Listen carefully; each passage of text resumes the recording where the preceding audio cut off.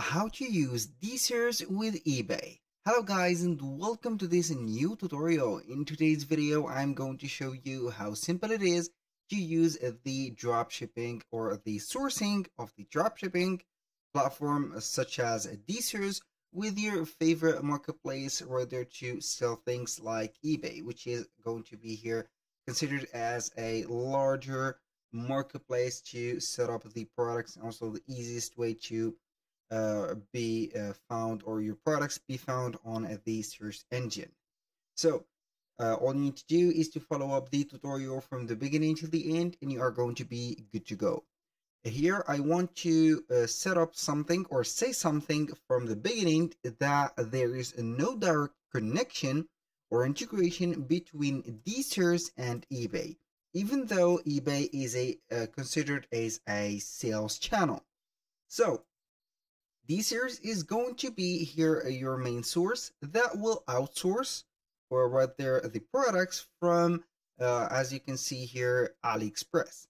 So we can go ahead and set up something from this tutorial that I'm going to show you on how we can connect uh, the uh, DSers with the eBay.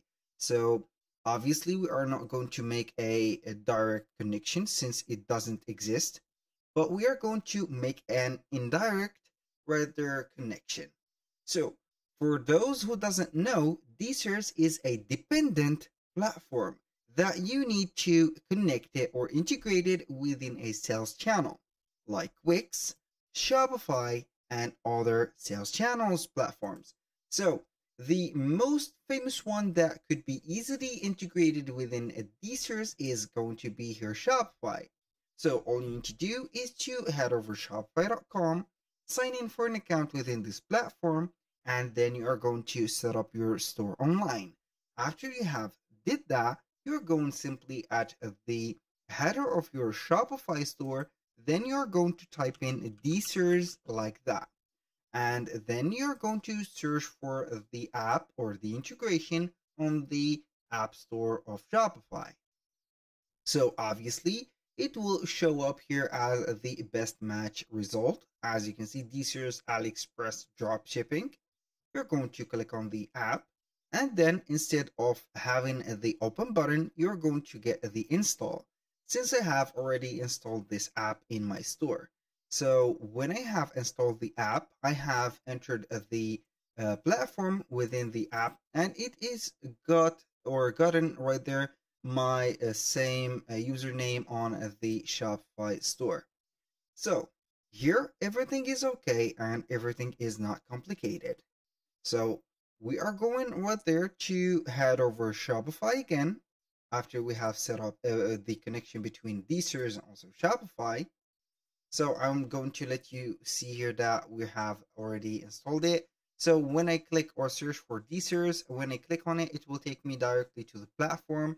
So this is a proof that I have already installed the app.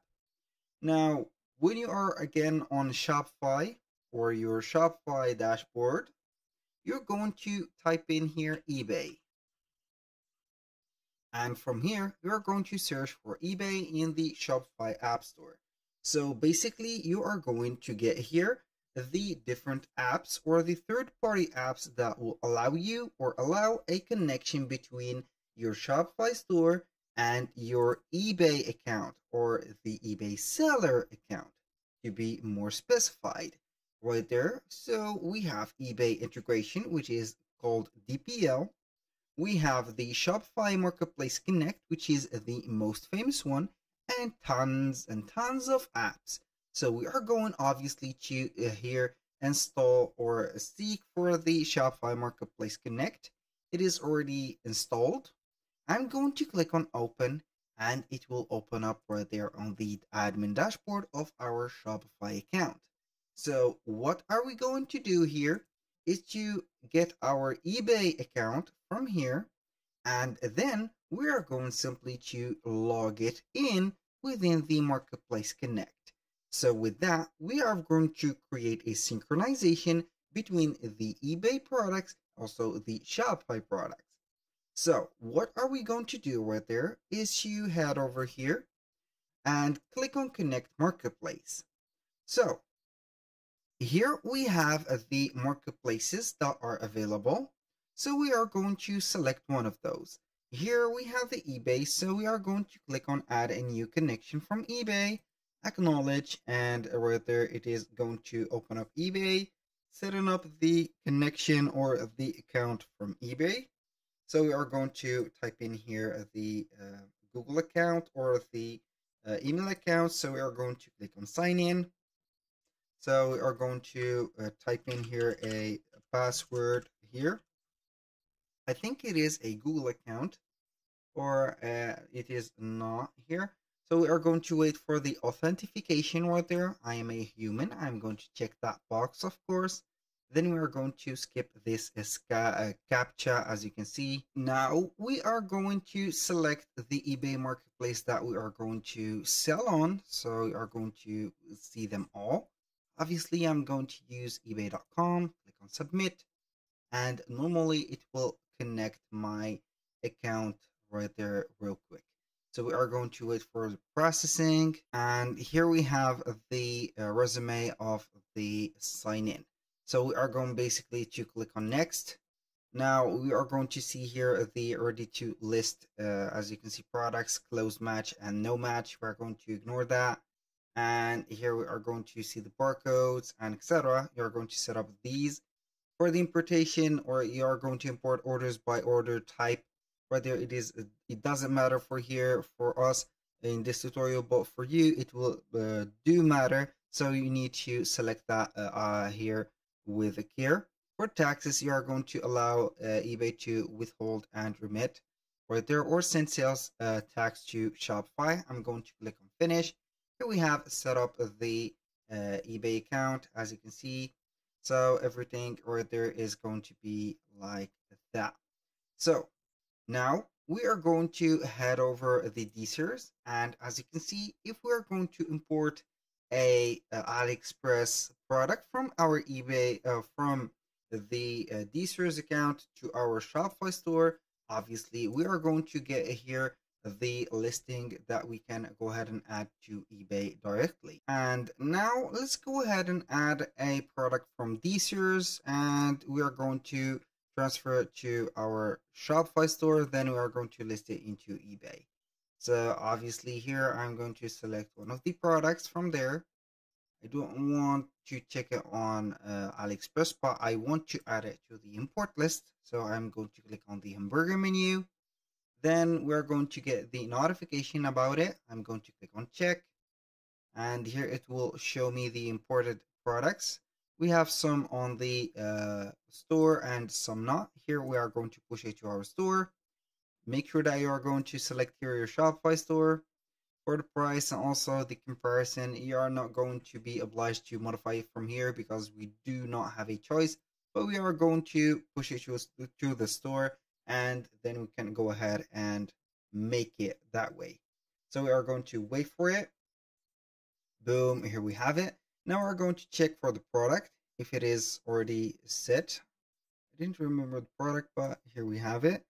So I think this is the product. It has been successfully added or imported to our Shopify product or the uh, Shopify store. So we're going to see here the listings, the prices. Go ahead and change it however you want. Once you have did that, you're going to head over the Marketplace Connect app. Then we are going to click on listing. So when you click on listing, so you are going to see here the list of the products that you have. So here, obviously, we have chosen the, uh, or we are going to choose the eBay store or marketplace that we have, which is this one. We're going to select the product that we have made it in. So we are going to click on it. And here we are going to enable the listing. So we are going to click on it here, save, and it will right there set up the uh, listing into eBay. But here we're going to modify something like the eBay title, the subtitle, the eBay category. It is going to be here automatic or edit the store category. The price you're going to set up here the web price, for example. You can edit the variation prices, the quantity or the inventory. You can go ahead and, and modify it from here. You can add some best offers option for marketing purposes. Here we have the product identifiers.